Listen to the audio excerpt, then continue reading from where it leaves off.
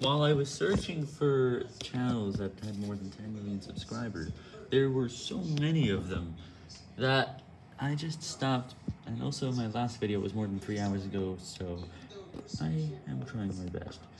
Again, I'm looking for as many channels as I can with at least a million subscribers.